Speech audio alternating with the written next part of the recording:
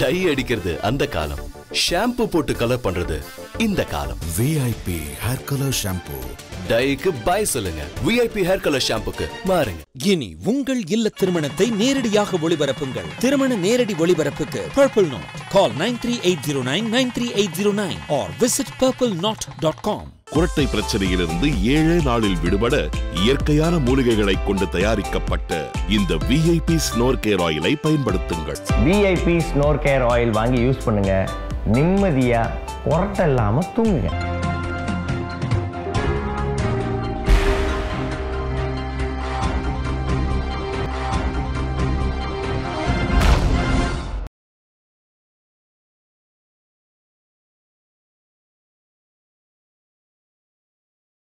எப்படியாவது மன்னனை கவுத்து ஒரு பெரிய கட்டிங் போட்டணும்னு பிளான் பண்ணி போயிருக்கிறாரு ஒரு புலவர். போய் மன்னனை வந்து இந்திரனே சந்திரனே உன்ன மாதிரி ஒரு ஆள் இந்த உலகத்திலே கிடையாது. அப்படி இப்படின்னு பாராட்ட பாராட்ட மன்னன் என்ன பண்ணிட்டான்? ஏய் சூப்பர்யா அருமையா. ஏய் இவருக்கு வந்து ஒரு பத்து கிலோ தங்கத்தை கொடு. அங்கே ஒரு ஆயிரம் ஏக்கர் நிலத்தை எழுதி கொடு. அப்படின்னு சொல்லி அந்த புறத்தில் இருக்கிற ஒரு அஞ்சாறு பொண்ணுகளை அனுப்பி விடு இவர்கிட்ட அப்படி அந்த ரேஞ்சில் சொல்லிட்டே இருந்திருக்கிறாரு. புலவருக்கு பயங்கர ஹாப்பி ஓகே. போகும்போது ஒரு வெயிட்டாக போக போகிறோம் அப்படின்னு நினச்சிட்டு பாட்டுக்கிட்டலாம் பாடிட்டு மண்ணா நான் கிளம்புறேன் அப்படின்ட்டாரு. சரி கிளம்புங்கன்ட்டார் அவர். பார்த்தா ஒன்றுமே வரல அவர் சொன்னது. சரி. என்னடா அது எதுவுமே வரலையேன்னு கேட்டு மண்ணா இவ்வளோ சொன்னீங்களே ஒன்றுமே இல்லையேன்னாரன் நீ என்ன புகழ்ந்து நாலு வார்த்தை சொன்ன? என் மனசு சந்தோஷப்பட்டுச்சு. அதே மாதிரி. நானும் ஒரு நாலு வார்த்தை சொன்னோம் உன் மனசு சந்தோஷப்பட்டுச்சு. சந்தோஷமும் சந்தோஷமும் சரியா போச்சு கிளம்புன்ட்டாரான் அந்த மாதிரி உதவிகள் இருந்துடக்கூடாது அப்படிங்கிற எண்ணத்தில் நம்ம வந்து சில விஷயங்கள் சொன்னோம். நிஜமாவே இந்த மாதிரி பேத்தலான கதையாக இல்லாமல் ஒரு அற்புதமான ஒரு துவக்கத்தோட அமைஞ்சிருக்கு பெப்சி தொழிலாளர்களுக்கான உதவி லிஸ்ட்டு. ஆமா. முதல் முறையாக நம்ம சந்தோஷப்பட வேண்டிய விஷயம் ரஜினி வந்து ஐம்பது லட்சம் ரூபா கொடுத்துருக்கிறாரு. நிஜமாக நன்றி சொல்லி போனோமா? கண்டிப்பா. ஆனா எனக்கு தெரிஞ்ச ரஜினி இதுவரைக்கும் செஞ்ச உதவியிலேயே மிகப்பெரிய? உதவி இதுதான் நான் நினைக்கிறேன். ஆமாம் ஆமாம். ஆமாம் கரெக்டா நிச்சயம் இருந்தாலும் அந்த மனசு வந்து செஞ்சிருக்காருல்ல. ஆமா, அதுக்கு வந்து நன்றி சொல்லணும் வாழ்த்து சொல்லணும். கண்டிப்பா. அதெல்லாம இப்ப நேத்து நம்ம வீடியோ போட்டதுக்கு அப்புறமா பார்த்திபன் வந்து ஒரு ஆடியோ மெசேஜ் ஒன்று அனுப்பிச்சிருந்தாரு. இது மாதிரி வலைபேச்சில் நீங்க இந்த மாதிரி சுட்டி காட்டுனீங்க. அதை கேட்ட உடனே நேரா பெப்சி ஆஃபீஸ்க்கு போய் ஒரு இரநூத்தம்பது மூட்டை அரிசியை கொடுத்துட்டு வந்தேன் அப்படின்ட்டு நமக்கு நன்றி சொல்லியிருந்தாரு. இந்த முதல் உதவிம்பாங்கல்ல அது முதல் உதவியாக இருக்கணும். அதுதான் முதல் உதவி. அதனால நம்ம வீடியோ வந்த உடனே இரநூத்தம்பது மூட்டையை கொண்டு போய் அங்கே கொடுத்துட்டாரு. முதல் ஆளா? அவர் உதவி செஞ்சதுக்கு அப்புறமா தான் கட கட கடகடன்னு வந்து இறங்க அதான் ஆரம்பிச்சாரு. முதல்ல அவர் தான் புள்ளிய வச்சிருக்காரு. ஆமா. நேத்து சொன்ன மாதிரி சூர்யா பத்து லட்சம் கொடுத்தாருன்னு சொன்னோம்ல அதுக்கப்புறம் சிவகார்த்திகேயன் பத்து லட்சம் கொடுத்துருக்காரு. இப்போ நீங்க சொன்ன மாதிரி ரஜினி வந்து ஒரு ஐம்பது லட்சம் விஜய் சேதுபதி.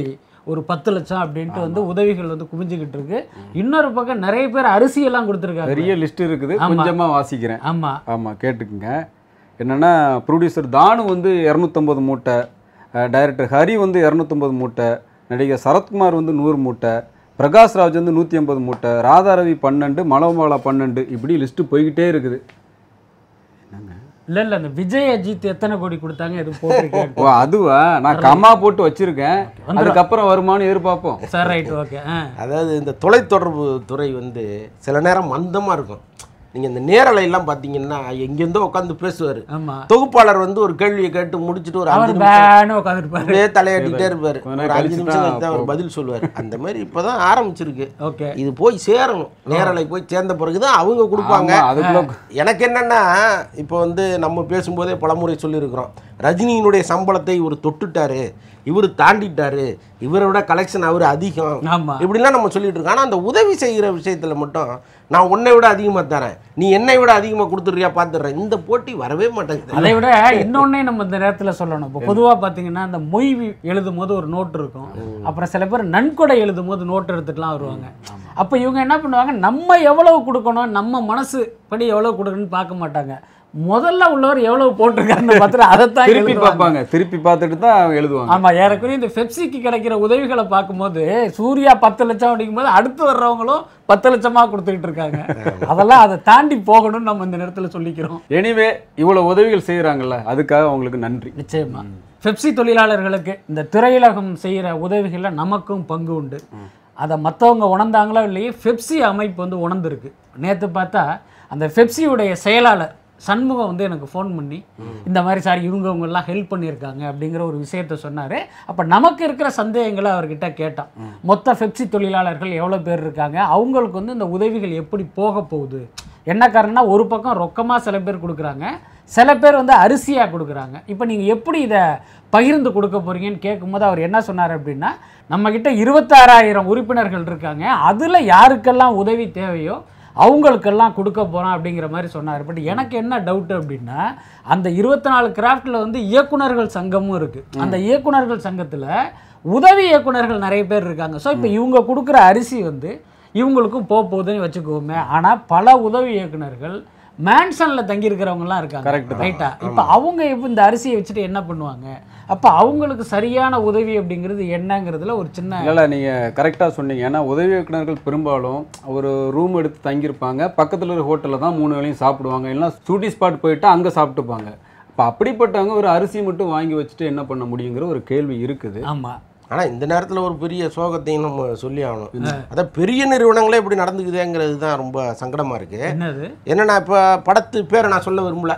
ஏன்னா பெரிய படங்கள்னு நீங்கள் எடுத்துங்களா இப்போ அவங்கெல்லாம் அந்த படத்தில் வேலை செய்கிற உதவி இயக்குனர்கள் என்ன நினைப்பாங்கன்னா காலையில் போயிடுறோம் ஆஃபீஸ்க்கு காலை உணவு மதிய உணவு இரவு உணவு முடிச்சுட்டு ரெண்டு வேளை டீ. போகும்போது வந்து ஒரு பேட்டா கொடுப்பாங்க.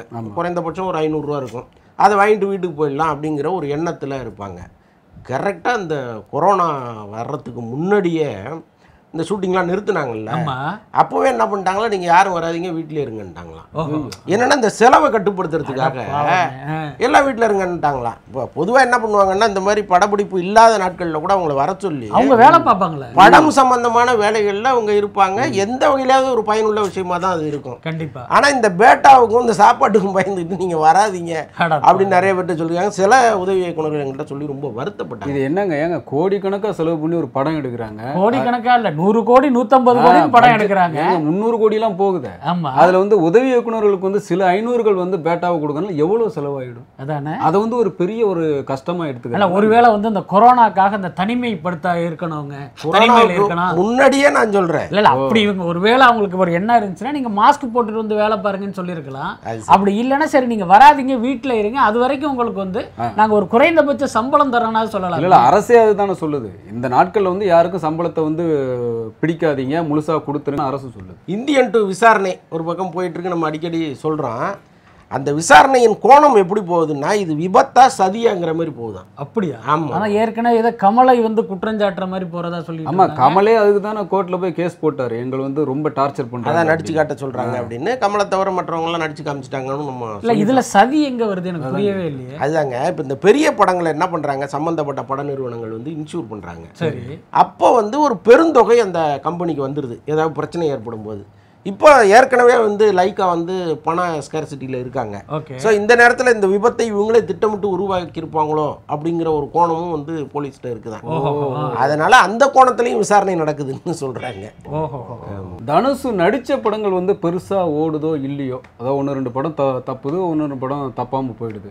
ஆனா அந்த அவர் நடிச்ச படத்துல சாங் இருக்குல்ல அதெல்லாம் வந்து யூடியூப்ல அப்படியே பட்டையை கிளப்பிடுதுங்க ஏற்கனவே ஒய்தீஸ் கொலவெறி உங்களுக்கு தெரியும். எங்கெல்லாமோ அது போய் ஹிட் அடிச்சிருச்சு. இப்போ வந்து ரவுடி பேபி மாரி டூ படத்துல வரும் அந்த பாட்டு அவ்வளோ ரெக்கார்ட் பிரேக் பண்ணியிருக்குது அதான் படத்துல கிடைச்ச லாபத்தை விட இதுல கிடைச்ச லாபம் தான். அதான் பெருசா பேசாம அவர் சிங்கிளே விட்டுறலாம் யூடியூப் ஆமா, எதுக்கு? ஆமா அல்றல அப்படியே. கரெக்ட் தான். அதை நீ சொன்னதுனால இந்த யூடியூப் மாட்டு இருக்கிறதுனால இன்னொன்று ஞாபகத்துக்கு வருது. ரெண்டு நாளைக்கு முன்னே மாஸ்டர் படத்துலேருந்து ஒரு லிரிக்கல் வீடியோ விட்டாங்கல்ல. இப்போ நீங்க கூட சொன்னீங்க எல்லாரும் வீட்டில் இருப்பாங்க அதனால அதை பார்த்துட்டு போகட்டுமேன்னு தம்பி சொன்னார்ல. ஆனா என்ன அப்படின்னா மக்கள் வந்து இதையெல்லாம் ரசிக்கிற மனநிலையில இல்லை. அது உண்மைதான். பாத்தீங்கன்னா அந்த லிரிக்கல் வீடியோ விட்டு ரெண்டு நாள் ஆச்சு. இப்போ ஒன் பாயிண்ட் எயிட் மில்லியன் பேர் தான் பார்த்துருக்காங்க. வழக்கமா இப்போ விஜயுடைய வீடியோ அப்படின்னால மினிமமா ஒரு அஞ்சு மில்லியனாவது பார்ப்பாங்க. இப்ப கடைசி அந்த வாத்தி ரைடுன்னு ஒன்று வந்து தெரியுமா? எட்டு மில்லியன் பேர் பார்த்துருந்தாங்க. ஆனா இந்த லிரிக்கல் வீடியோக்கு பெரிய ரெஸ்பான்ஸே இல்ல. இல்லை பல பேர் இந்த பயந்துட்டு ஊருக்கு ஓடிட்டு இருக்கிறாங்க. அந்த ஒருத்தன் மேலே ஒருத்தன் ஏறிட்டு ஆமா, போய் அவன் எத்தனை பேர்கிட்ட கொண்டு போய் சேர்க்க போறானோ அது பெரிய கொடுமையாக இருக்கு. ஸோ இது அதனால ஒருவேளை கொஞ்சம் டிலே ஆயிருக்கும்னு நினைக்கிறேன். போக போக கொஞ்சம் ஏறுறதுக்கு வாய்ப்பு இருக்கு. பட் இருந்தாலும் வந்து இந்த மாஸ்டர் ஆரம்பிச்சதுலேருந்து இந்த சென்டிமெண்ட்டு பிடிச்சி ஆட்டிக்கிட்டு இருக்கு. மாஸ்டருக்கு சென்டிமெண்ட் மாஸ்டர் ஆமாங்க. நீங்க ஃபர்ஸ்ட் லுக் வந்துச்சு இல்லையா? அதுல வந்து விஜய் தலையை பிடிச்சிட்டு இருந்தாரு. நம்ம தலையில இப்படி கை வச்சுக்கிட்டு ஆமா. இத பார்த்த உடனே விநியோகஸ்தர்கள் பாதி பேர் ரொம்ப அப்செட்டான் முதல் லுக்கே இப்படி வந்திருக்கே அப்படின்னு ரொம்ப கவலைப்பட்டுட்டு ஆனா அந்த இருக்காங்க. சினிமாக்காரங்க வந்து அநியாயத்துக்கு சென்டிமெண்ட் சென்டிமெண்ட்டுக்கு ஒரு அளவே இல்லையா நான் ஒரு சம்பவம் சொல்றேன். எனக்கு தெரிஞ்ச ஒரு டைரக்டர் ஒருத்தர் இருந்தார். அவரே தயாரிப்பாளர். சரி. இப்போ டிஸ்ட்ரிபியூட்டர்கள் வந்து அவர்கிட்ட வேலை பேச வருவாங்கல்ல. அப்போ என்ன பண்ணுவாங்க? இந்த இன்டர்காம்ல இருந்து வெளியில உட்காந்துட்டு போன் அடிப்பாங்க. இப்போ இவர் ஒரு வேலை வியாபாரம். பேசிட்டு மணி அடிக்கிறதுக்கு. மணி அடிக்கிறதுக்கு. பாத்தீங்களா? மணி அடிச்சு. நல்ல சக்கனம் நல்ல சகுனம். அப்படின்ட்டு ஒரு அமௌண்ட்டை சொல்லி தலையில கட்டிடுவாங்க ஸோ இதெல்லாம் வந்து நடக்கும். பார்த்தா திட்டமிட்ட சதி. பக்கத்து ரூம்ல இருந்து இன்டர்காம் அடிக்கிறது. கரெக்டா ஏழாவது நிமிஷம் ஒரு காலடி. ஆமா. இந்த மாதிரி எல்லாம் இருக்கு சென்டிமெண்ட் இப்போ நல்ல சென்டிமெண்டா இருந்தா பரவாயில்ல. ஏதோ ஒரு அமௌண்ட் அதிகமா வந்துச்சு லாபம் வந்துச்சு போனாங்கன்னு.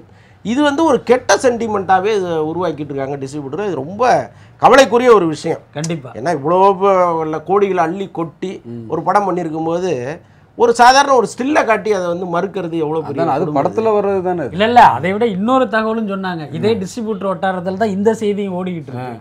இப்போ பாத்தீங்கன்னா மாஸ்டர் படத்தினுடைய செகண்ட் லுக்கு தேர்ட் லுக்லாம் பார்த்தா ஈவினிங் அஞ்சு மணிக்கு விட்டாங்க. என்ன நம்ம தான் சொன்னா நடுராத்திரில எல்லாம் விடாதீங்க பாவம் மக்கள் வந்து முழித்து தூங்குற நேரத்தை டிஸ்டர்ப் பண்ணாதீங்களான்னு சொல்லிக்கிட்டு இருந்தோம். இவங்க ஏதோ பகல்ல விட்டாங்க. அது ஒரு நல்ல விஷயம் தானே. ஆனா இவங்க என்ன சொல்றாங்களா? நாலரை டு ஆறு வந்து ராகு காலம் இவங்க கரெக்டா அஞ்சு மணிக்கு அதை விட்டாங்க. அப்படின்ட்டு டிஸ்ட்ரிபியூட்டர் சைடில் இதை ஒரு நெகட்டிவான நல்ல நேரம் பார்க்குறவங்களாம் ஒன்று சொல்லிக்கிறேன். நேத்து தான் இந்த ஜோசியர்கள் வந்து ரெண்டாயிரத்தி இருபதாம் ஆண்டு எப்படி இருக்குன்னு ஒரு வீடியோ ஒன்று அதான் ரெண்டாயிரத்தி இருபதாம் ஆண்டுக்கான பலனை சொல்லியிருக்காங்க. அந்த வீடியோ வந்து சமூக வலைத்தளங்கள்ல பரவலா இருக்கு. பாருங்க பிரமாதமா சொல்லியிருக்காங்க. சென்டிமெண்ட்டை தூக்கி குப்பையில போடுங்க. அதாவது கோழி கடந்த இடத்துல முட்டை கடந்தா லாபம் எச்சம் கடந்தா சோகம்.